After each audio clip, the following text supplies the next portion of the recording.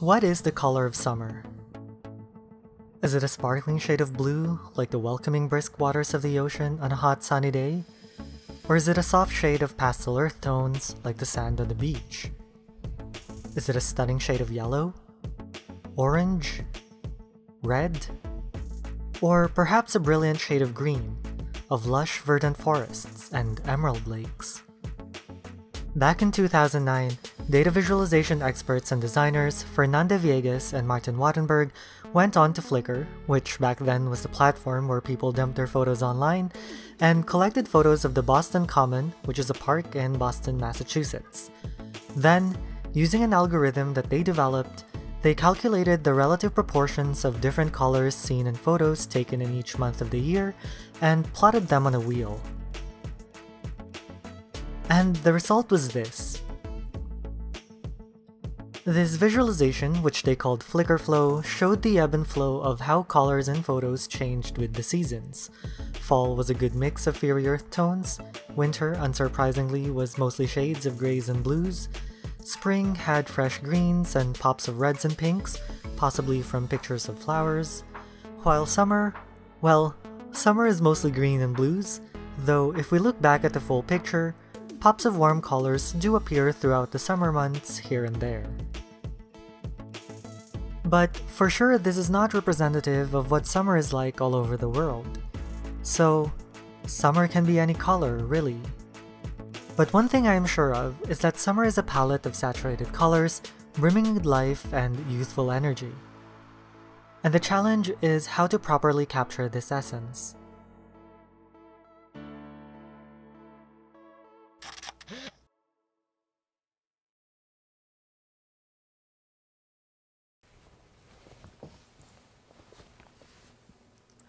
Hello everyone, it's Bon and welcome back to my channel, and this is episode 2 of a series of videos that I'm doing about summer.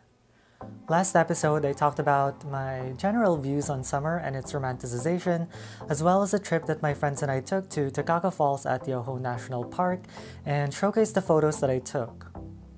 This video will continue that adventure, but I also want to talk a bit about capturing the essence of summer on a photograph, or any visual media for that matter like painting. For those of you who don't know, I actually paint as well. Admittedly, not so much at the moment, but it's definitely something that I would like to get back to at some point. Anyway, like I hinted at the beginning of this video, I personally think that to capture the essence of summer on a photograph or painting, you'll want to incorporate vibrant colors and play with lighting in your composition. Sure, some of you might say that this is overused and I should probably do something different, and that's okay. But I also think that it's okay to use popular visual iconography.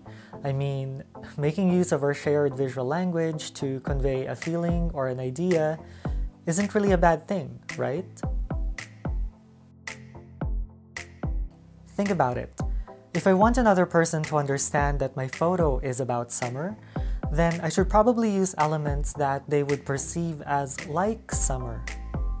And I'm not saying that I'm an expert at this, but to me a photo looks summery if it has the right combination of vibrant colors, emerald greens, natural sunlight, and possibly a warm glow. This is probably easier to do with painting because you have more freedom in mixing your own color palette, but for film photography, you'll have to think a bit about what film stock you should use.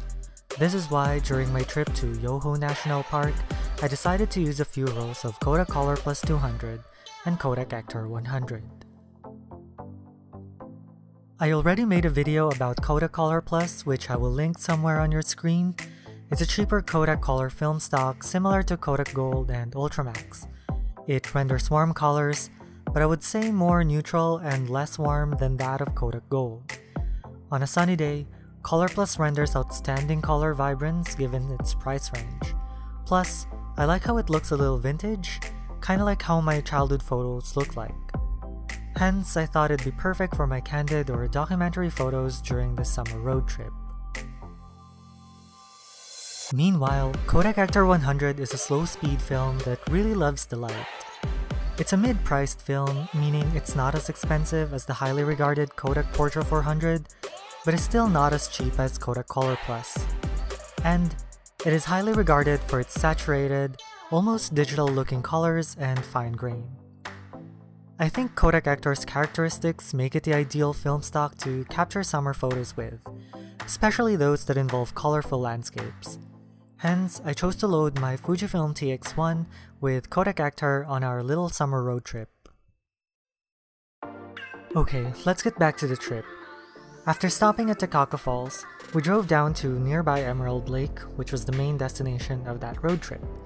We had to park further away from the parking lot because it was so full that day, but before heading straight to the lake, we found this short trail that takes you around the quiet wooded area to see the northern side of the lake.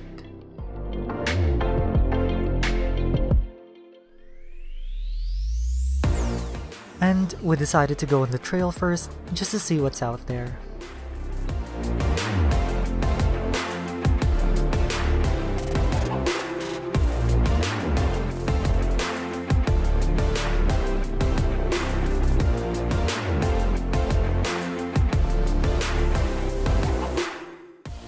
During this hike, we already got to see a preview of the emerald color of the lake.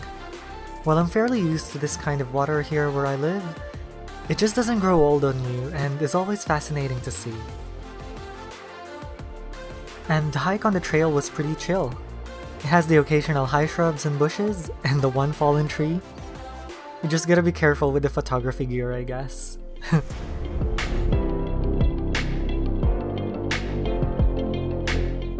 But yeah, um, we were pretty much at awe once we got a glimpse of the lake. It's so beautiful.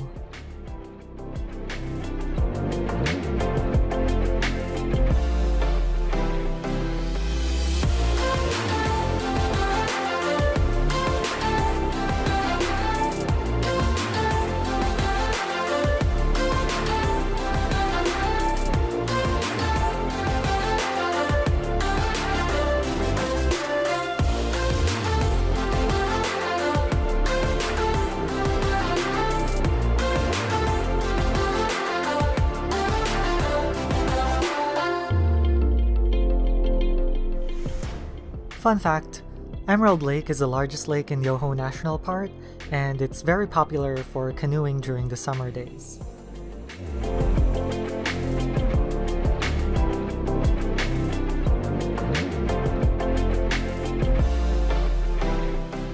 And obviously, it was called Emerald Lake because of its color, but that name was actually first given to Lake Louise in Banff National Park.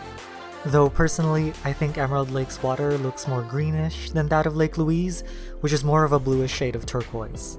But just like Lake Louise, this emerald color comes from the particles of fine glacial silt or rock flour suspended in its waters. Here are some of my favorite shots from this road trip. As you can see, Kodak Color Plus really holds its own when it comes to vibrance, but Ektar is just a tad more saturated, Kodak markets this film as a landscape color negative film that can rival digital or color positive film, or slide film.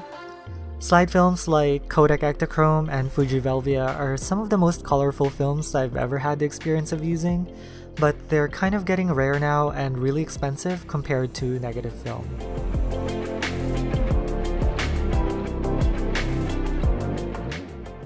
And after a bit of walking around to explore the place, we went to this restaurant to have a very late lunch. and it was great because they had an outdoor area where you get to enjoy the scenery while eating.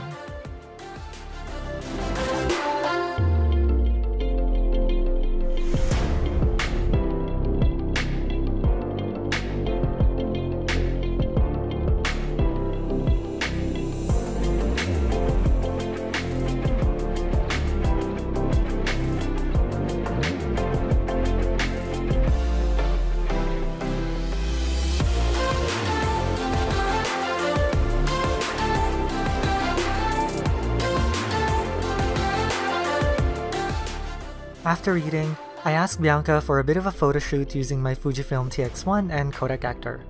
Because this film is really saturated and meant for landscape, skin tones, especially light-skinned with pink undertones, can look really red and unflattering with this film stock. So there seems to be some polarization happening online where some photographers hate it while some love it. I'm more on the love it side really, Like sure, it's not an everyday type of film, but I actually think that olive skin tones and darker skin look great with this film stock. And of course, here's a group pic using the Contax TVS's timer feature.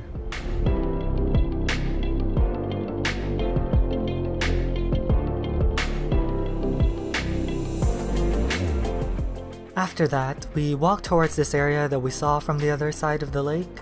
This is just to the side of the canoe rental area, and it's the place where iconic photos of the lake are taken.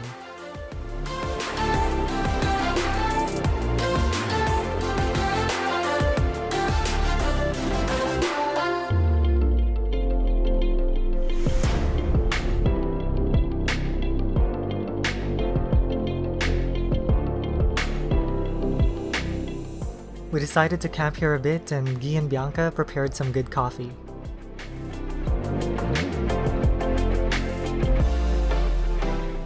Some of my shots with the Fujifilm TX1 are blurry though. yeah. But overall, we really enjoyed our time at Emerald Lake.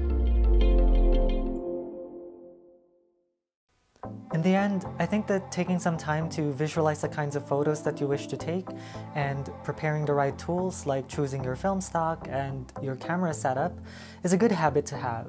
This can allow you to really take the photos that you wish to take and achieve your creative goals.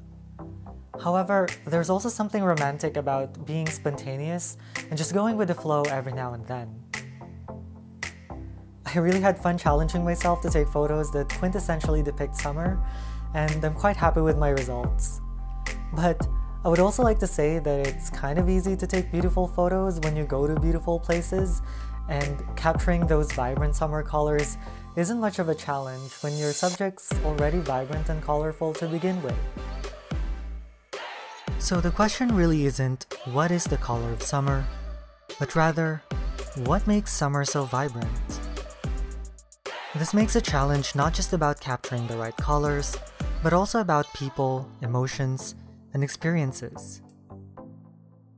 Because what truly makes our lives vibrant and colorful isn't just the season, the place, or the colors already present around us, but rather the people we surround ourselves with and the memories we make and share with each other. And that's it.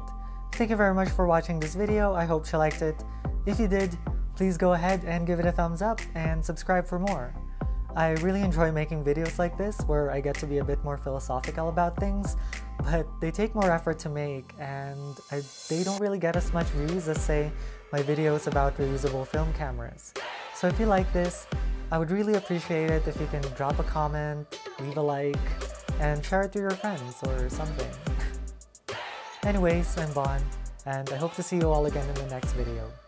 Cheers.